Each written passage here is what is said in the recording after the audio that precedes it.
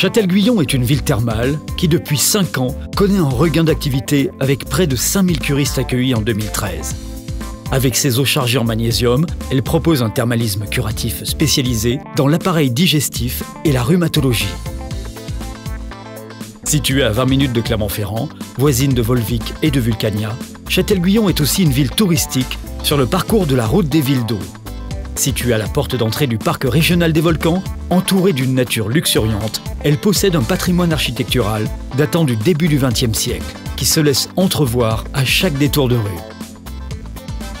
La ville, dont le théâtre à l'italienne est en cours de rénovation et ouvrira ses portes en 2015, est aussi le rendez-vous de toutes les cultures, avec des expositions, un festival de jazz, du théâtre et des concerts à découvrir dans le cadre magnifique du parc thermal durant tout l'été. Tous ces éléments font de cette ville un lieu de santé et de bien-être, d'autant que Châtel-Guyon est une ville sportive, avec 22 disciplines pratiquées par près de 2500 licenciés, soit 37% de la population. Un stade, un hall des sports, un boulodrome, deux terrains de foot, un terrain de tennis, une piscine, un skatepark, un parcours de santé, deux centres équestres, autant d'infrastructures sportives qui témoignent de l'attachement de cette ville au sport.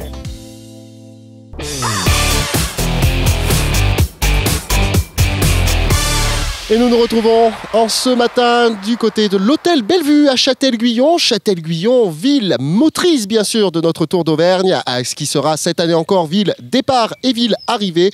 Nous allons avoir l'occasion bien sûr de discuter avec l'ensemble de nos interlocuteurs que l'on va vous présenter. Euh, sur ma droite, nous retrouvons Émile Labille, responsable du club cycliste de Châtel.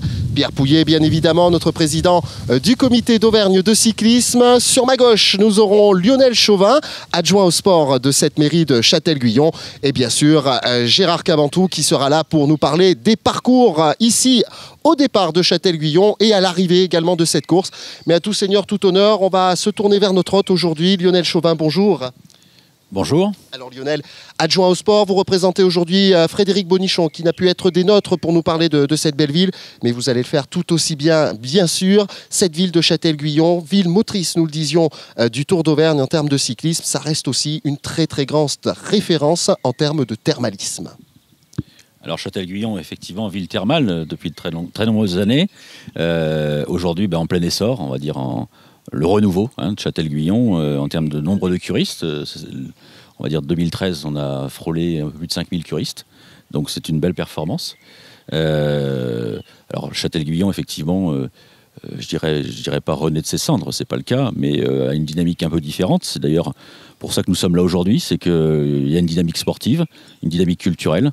Euh, on a un président à, à, à, ma droite qui est Émile Labbaye euh, qui peut en parler. Euh, effectivement, le team cycliste qui a été créé euh, il y a maintenant environ 5 ans.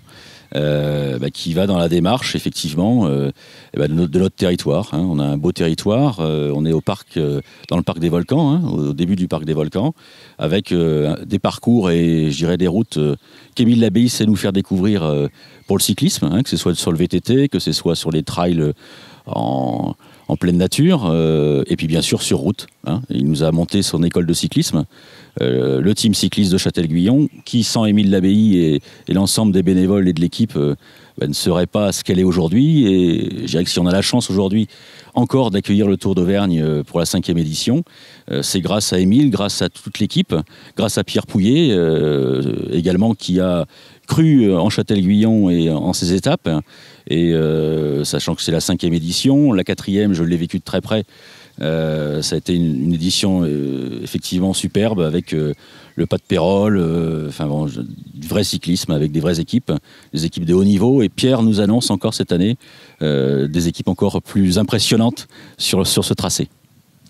Alors nous le disions il y a quelques instants, 5000 curistes, c'est quand même pratiquement une ville qui multiplie sa population par deux à l'occasion bien sûr de, de, la saison estivale. Là aussi en termes de capacité d'accueil, il y a vraiment du répondant du côté de cette commune de Châtel.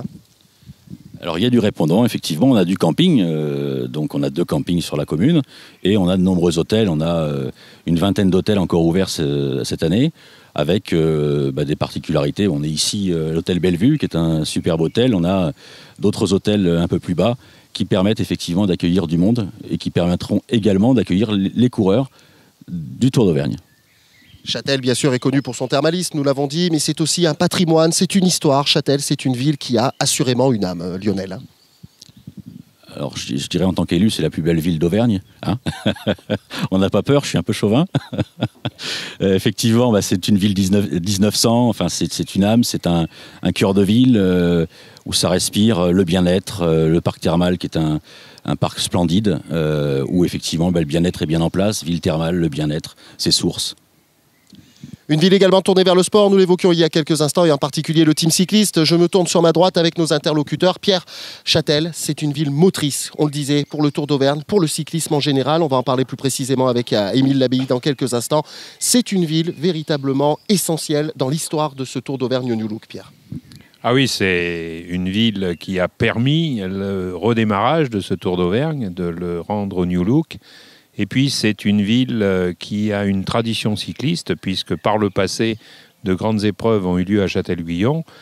C'est une ville qui a su nous conquérir, qui a su conquérir le cyclisme et qui a su aussi euh, faire euh, qu'elle soit aujourd'hui le cœur de l'ensemble de l'épreuve. Aujourd'hui, nous ne concevons pas le Tour d'Auvergne sans la ville de Châtel-Guyon parce que Châtel-Guyon sait accueillir, Châtel-Guyon a des parcours autour de la ville particulièrement compétitifs et qui permet aux meilleurs coureurs français de pouvoir s'exprimer.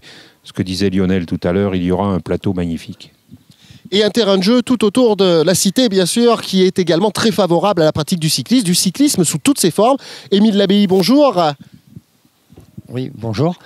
Euh, oui, euh, donc euh, en ce qui me concerne, moi, le team cycliste Châtel-Guyon, donc déjà que le team cycliste existe depuis six ans et quand j'ai créé ce, club, j'avais dit que la ville, j'avais souhaité, disons, que la ville de Châtel-Guyon devienne une ville incontournable du cyclisme auvergnat.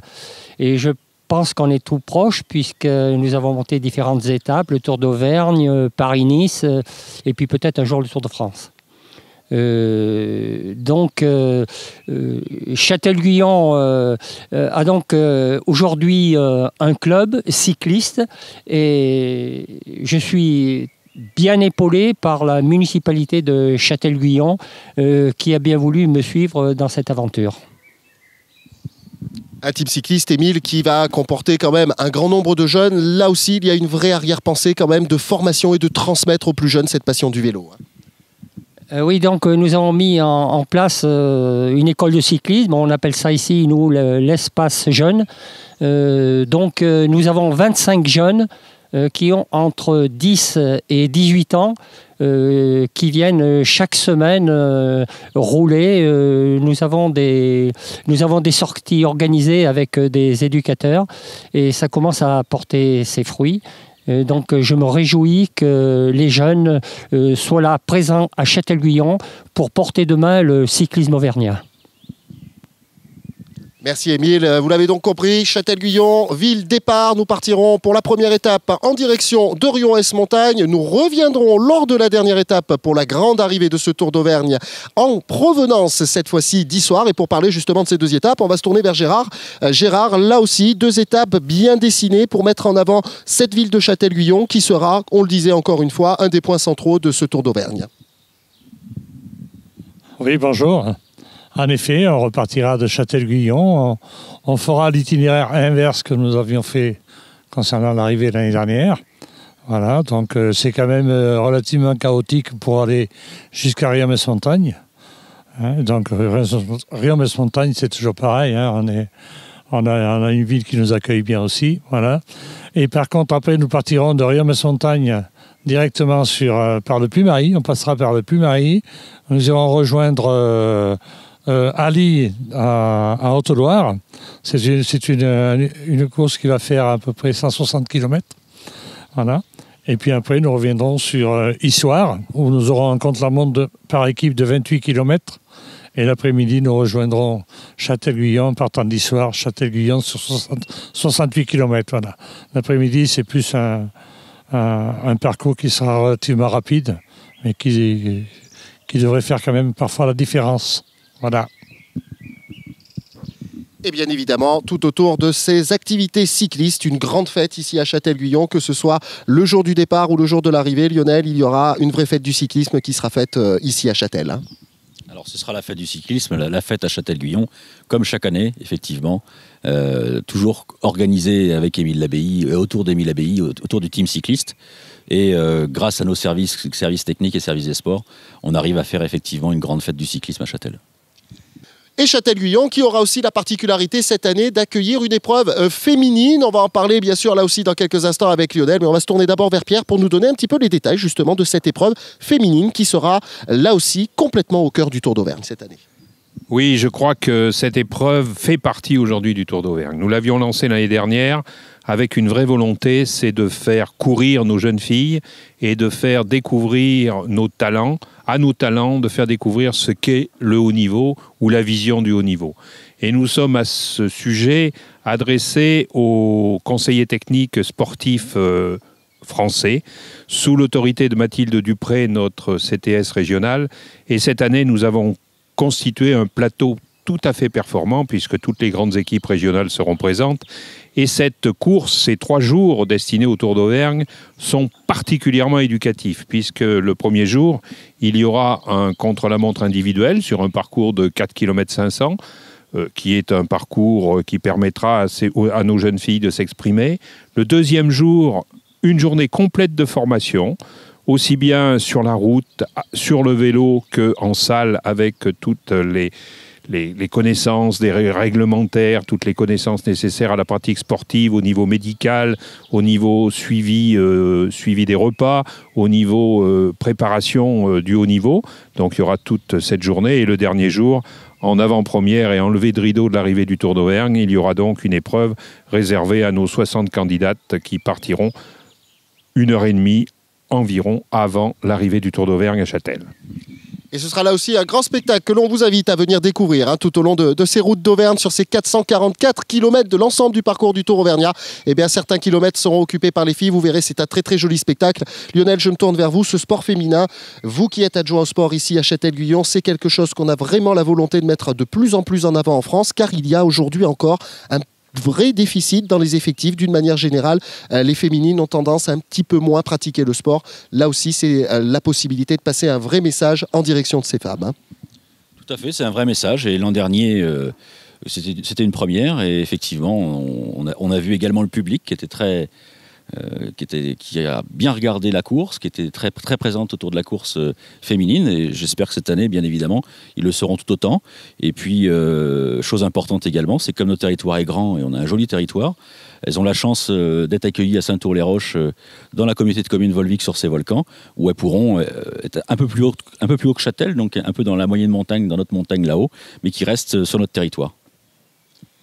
Merci Lionel. Châtel, vous l'avez compris, qui sera donc encore une fois cette année l'épicentre de ce Tour d'Auvergne. Nous partirons pour le grand départ le vendredi 25 juillet en direction de Rion-S-Montagne.